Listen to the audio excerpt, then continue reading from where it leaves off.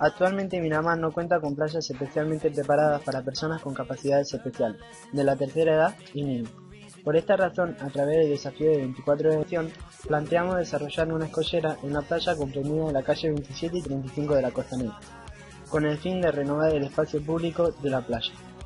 Nuestros objetivos son las rampas para discapacitados, limpieza general de la playa que actualmente está con un difícil acceso por las grandes cantidades de escombros, servicio de baños públicos adaptados y préstamos de sillas anfibias durante toda su estadía en la playa, servicios recreativos, por ejemplo toboganes y hamacas y desde relax para los turistas.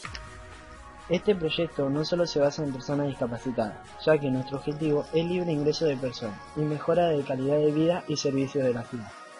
Recursos humanos que se necesitan son los ingenieros, profesionales especializados y la colaboración de civiles.